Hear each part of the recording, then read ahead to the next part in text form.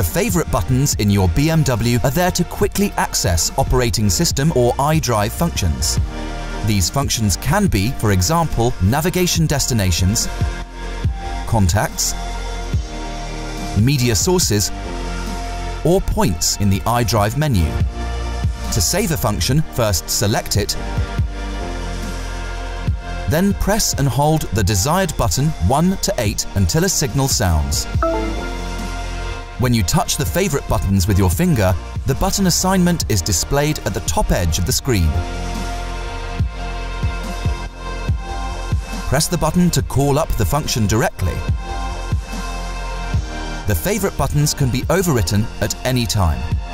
Just press and hold the respective favorite button while the new function you would like to save is active.